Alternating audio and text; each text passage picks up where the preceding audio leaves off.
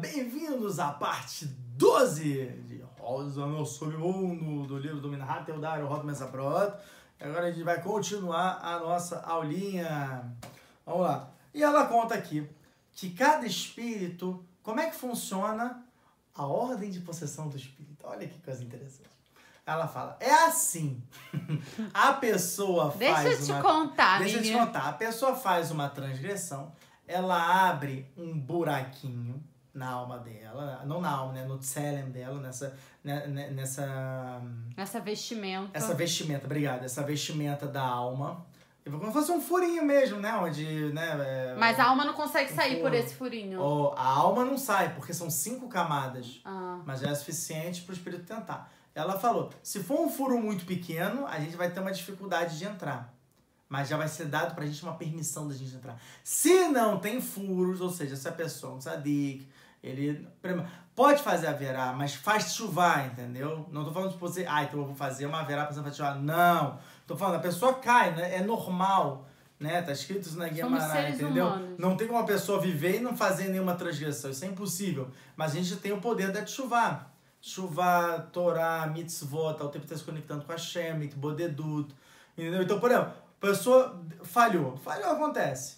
E abriu essa porta, então ela falou, aí é dado pra gente permissão da gente entrar. Dentro dessa permissão pra gente entrar, a gente pode entrar com facilidade, dependendo da transgressão da pessoa Do buraco, né? é, do buraco, da transgressão, né, o nível da, da alma da pessoa, como é que tá a força dela, né, do, do tselem e todas essas vestimentas, ou não. Se a gente conseguiu entrar com facilidade, ela diz, é muito difícil de tirar a gente. Muito difícil tirar essa Ah, alma. se entrou com facilidade, é difícil. Se, se entrou com facilidade, vai sair, vai ser punk pra tirar. Vai ser difícil, vai ser doloroso e tem que tomar muito cuidado. O rabino exorcista ele tem que tomar muito cuidado de onde tirar. Porque, por exemplo, se for pro olho, pode estourar o olho e a pessoa fica cega. E geralmente é isso que acontece. Quando a alma ela, ela, ela é retirada, ela fica com muita raiva. Que ela vai voltar para um sofrimento absurdo, como a gente tá falando. Olha só, coitado, quanto que essa Rosa tá sofrendo. Então ela, ela fala: se eu vou sair, eu vou pelo menos deixar a casa bagunçada. Então ela tenta sair pelo olho para explodir o olho da pessoa. Mas vai deixar a tal. casa bagunçada porque ela não vai sofrer por isso? Não. Não vai. Por que ela sofreria? Lembra que a gente falou que toda essa questão de sofrimento e de hum, é, é, transgressão que a pessoa comete é sem vida. Não no pós-vida. Pós-vida é game over. Já tá tudo revelado para ela. Ela não, ela não recebe um acréscimo de sofrimento. Ah. Como é que a Mas pessoa. por que, que ela tem que como é que zoar a com a pessoa e. e Datadin, porque ela tem muita severidade, ela tem muitas cascas espirituais e a Rosa, por exemplo, você viu que ela era debochada. Né? Todo que imagina, no tribunal celestial, em frente ao Sadequim, anjos gigantes, era uma coisa assim, vai até o teto, até o teto, vai até os céus, assim, uma coisa, um medo, um pavor, e falavam pra ela, vem cá, o que, que você fez? Eu sei lá. Ah, não sabe? Pum! Queimava, tal, não sei o quê. Voltava. Tá bom, tá bom, eu confesso. Entendeu? Como é que pode ser que lá no mundo da, da verdade, que a pessoa ela volta, né? é, a gente já falou isso né, algumas vezes, mas é, Zod Parashat Bereshit, na página 22b, fala que a pessoa ela morre com as características que ela tinha em vida. Isso não muda. Entendeu? Então só as características fazem ela ficar mais cruel, ela ficar mais cruel tal, não sei o quê. Então ele fala que geralmente quando ela entra Bereshut, que ela entrou com facilidade, ela entrou por permissão, ela, ela sai com dificuldade. Se ela forçar a barra, por exemplo, a pessoa não fez uma verá explícita. E a Rosa fala, esse foi o meu caso. Eu entrei na Caton, coitada da Caton, ela não tinha feito uma verá específica, ela tava triste. Mas não uma verá. Você não tem uma proibição de ficar triste, entendeu? Que nem certas pessoas falam, entendeu? Não posso ficar com raiva. Não, não é uma proibição.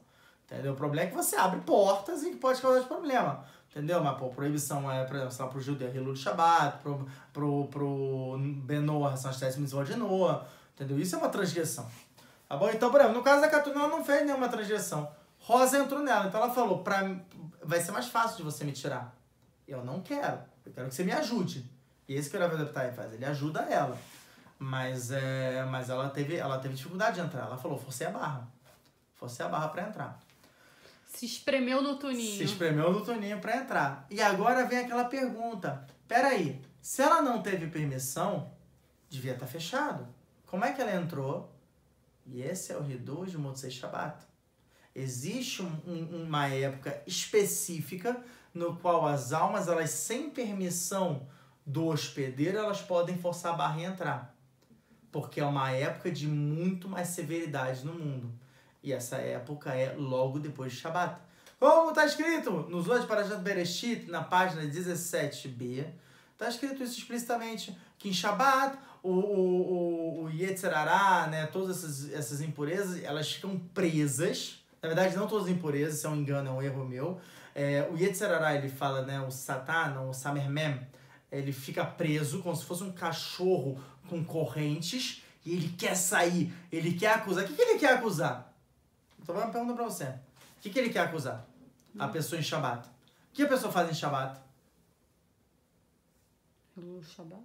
Não, raça Shalom. Ela, fa ela come. Eu tô falando bem inteiro, permissão. O que, que a pessoa faz em Shabat? Ela come mais, ela bebe mais, ela, ela tá tendo prazer desse mundo. Aham. O Samer mesmo, né? Esse o anjo né, ruim, o que, que ele quer? Ele quer acusar, ele vai falar, mas eles deviam estar estudando. Tá vendo? Rechaim perverso, só estão comendo, bebendo, se esbaldando. Como é que pode? Banquetes usando o dinheiro que eles podiam estar fazendo cá e estão usando para comer uma comida boa. Rechaim! É isso que ele quer falar. Porque ele gosta de ver o lado ruim das coisas. Por isso que fala, toma muito cuidado. Né? Agora a gente trazendo para a questão de Mussar. Toma cuidado com o Lachonará. Toma cuidado de você ter o Ainará. Você vê o, a pior, o pior lado das pessoas. Porque isso é exatamente a característica do Samer mesmo. A pessoa que faz isso, ela se iguala a esse anjo acusador. Né? Então tem que tomar muito cuidado. Então ele fica desesperado, só que ele não pode falar nada, porque ele está sob corrente, porque Shabat é um dia de chá, acabou. Shabat é dos Baruch fala, não, é- isso é o que eu quero para a Israel. Eu quero que eles tenham prazer, eu quero que eles tenham é, é, como mais, se divirtam, tal, não sei o que, é o dia deles. Só que em Motzei Shabat, ele já estava um dia inteiro preso e ele tá louco.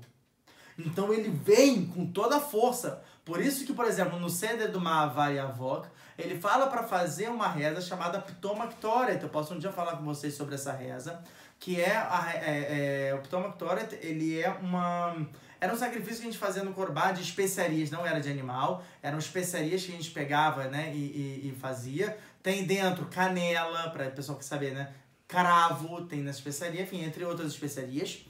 E quem deu essa, é, é, essa, esse reduz né, que a gente pode fazer foi o próprio anjo da morte, quando Moshe Rabbeinu convenceu os anjos, vide Maseret Shabbat na página 89a.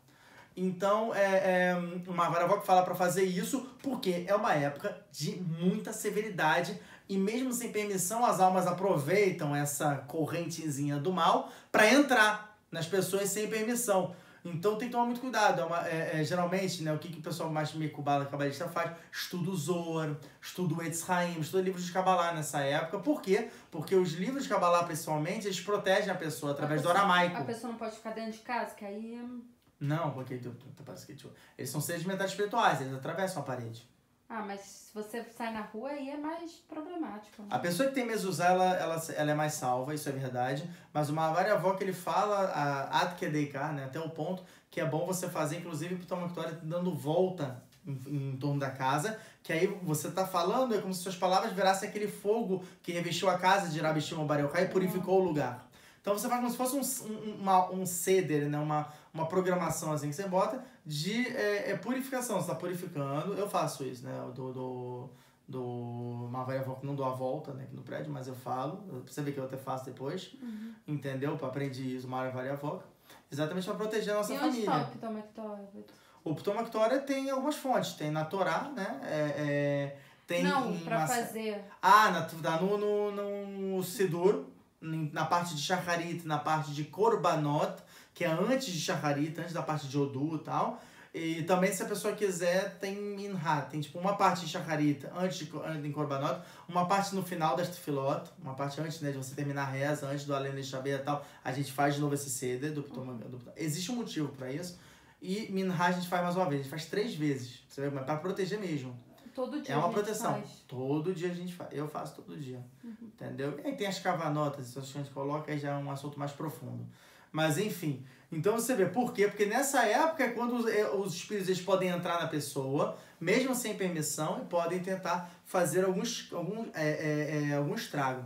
A Rosa ainda confessa pra gente, ela fala, eu não conheço o Guerrinom, nenhuma alma que está no Cafaquela conhece o Guerrinom, então a gente não pode descrever como é o Guerrinom. Só quando a gente entra, a gente entende, a gente sabe o que, que é. Fora isso, não tem como saber. Ela não tem permissão de ver. Ela falou assim também é com Ganeden, obviamente. Eu não sei, não faço ideia de como é que é o Ganeden. E, obviamente, né, com certeza o Olamabá, que ninguém sabe como é que é, como a gente já falou no, na aula de introdução ao fim dos tempos, né, no YouTube. Então ela fala, não tem como a gente saber essas coisas. E ela falou, eu também não tenho como analisar os astros. Ela falou, sei que o pessoal acha interessante, né, analisar o Sol, a Lua, as estrelas. Ela falou, primeiro, que quanto mais alto a gente fica, a atmosfera ela vai queimando a gente. Então a gente não tem condição de subir mais.